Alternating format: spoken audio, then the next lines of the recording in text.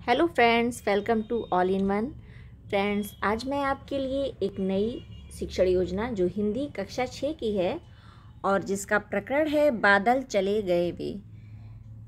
लेकर आई हूँ। मुझे उम्मीद है कि यह शिक्षण योजना आपको पसंद आएगी। यदि यह शिक्षण योजना आपको पसंद आए तो मेरे चैनल को सब्सक्राइब करें, लाइक करें तथा इस शिक्षण योजना को अधिक से अधिक ग्रुप्स में शेयर करें।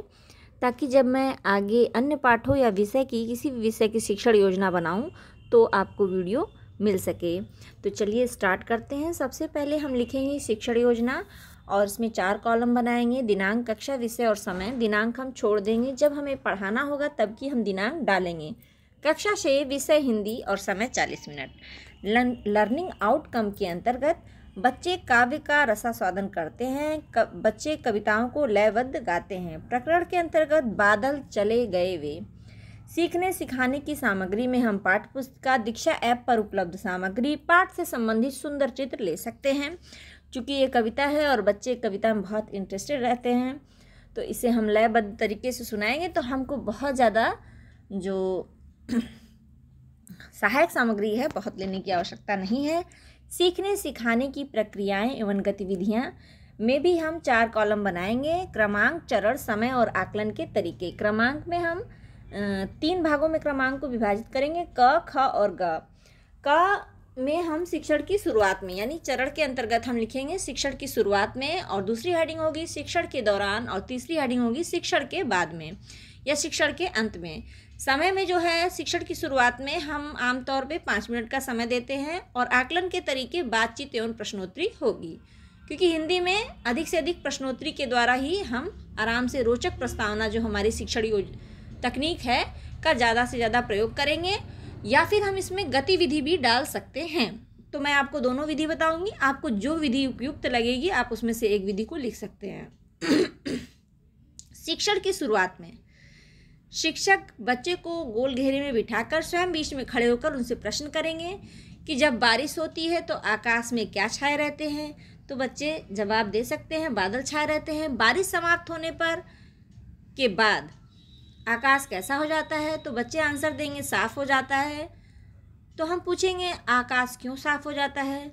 तो बच्चे बोलेंगे, बादल चले जाते हैं या बादल नहीं रहते हैं या बादल हट जाते हैं।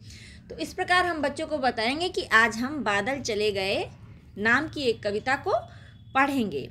इसके अलावा फ्रेंड्स हम इसमें गतिविधि भी डाल सकते हैं, अगर हमें इच्छा हो तो। या हम रोचक प्रस्तावना या गतिविधि, दोनों शिक्षण तकनीक का उपयोग कर सकते हैं। जैसे गतिविधि में हम बच्चों को बताएँगे कि बच्चों, वर्षा ऋतु संबंधित कोई कविता सुनाने के लिए कहेंगे या स्वयं सुना देंगे। अगर बच्चे ना सुना पाए, संकोच कर रहे हैं, या कोई वर्षा ऋतु से संबंधित वीडियो क्लिप भी बच्चों को सुना के और बता सकते हैं कि आज हम बादल चले गए पाठ को पढ़ाएँगे। जैसे हमें अगर कविता कहनी है तो हम लोग बचपन में पढ़ चुके हैं, अम्मा जरा देख तो ऊपर चले आ रहे हैं बादल। तो इससे संबंधित सुना सकते हैं। या हम एक और कविता है, पानी बरसा छम छम छम, या कोई भी इस तरह कि कोई भी कविता से हम गतिविधि को स्टार्ट कर सकते हैं। तो आप इन दोनों मतलब जो तकनीक है, इन दोनों में से जो भी चाहें, आप इसको एक को लिख सकते हैं।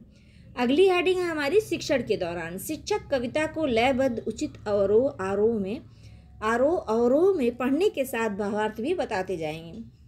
और इसमें जो है, दस मिनट का बीस मिनट का टाइम लेंगे, क्योंकि हमें कविता पूरी पढ़ानी है और प्रतिक्रिया तथा सहभागिता देख के इसका आकलन का तरीका होगा। कठिन शब्दों का निवारण करते जाएँगे। बीच बीच में बच्चों को भी उठाकर उनकी समझ और समझ को समझने के लिए प्रश्नोत्तर तथा भाव को उनसे पूछेंगे कि बच्चे कविता को रुचि ले रहे हैं, समझ रहे हैं। इस चीज़ को जानने के लिए बच्चों को भी हम सक्रिय रखेंगे। अगली हेडिंग है हमारी ग।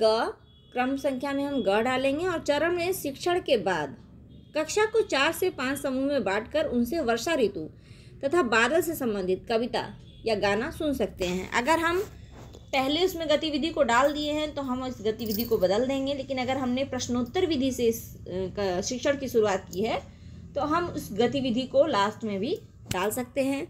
या फिर, अगर हमने प्रश्नोत्तर विधि की है तो हम गतिविधि को यहाँ डाल देंगे। अगर हमने गतिविधि का उपयोग किया है तो हम जो है शिक्षण के अंत में वर्षा ऋतु में उपयोग की जाने वाली वस्तुओं का चित्र बनाने के लिए बच्चों से कह दे सकते हैं।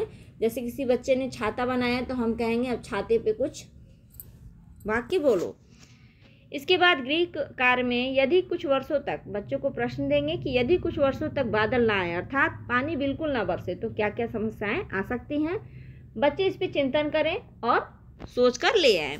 क्योंकि फ्रेंड्स हमने जो है सीखने के जो चरण हैं इरैक जिसे कहते हैं ई आर ए सी मतलब एक्सपीरियंस है रिफ्लेक्शन है, चिंतन। बच्चों को चिंतन करवाना बहुत ज़रूरी है।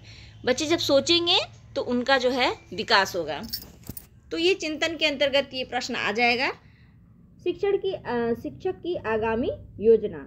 बच्चों को छोटे बड़े, एकल समूह में कार्य का अवसर देने हेतु गतिविधियाँ बनाएँगे। तो इस प्रकार हमारी जो है, ये छोटी सी, बहुत ही संक्षिप्त शिक्षण योजना आपको मैंने बना के दी है।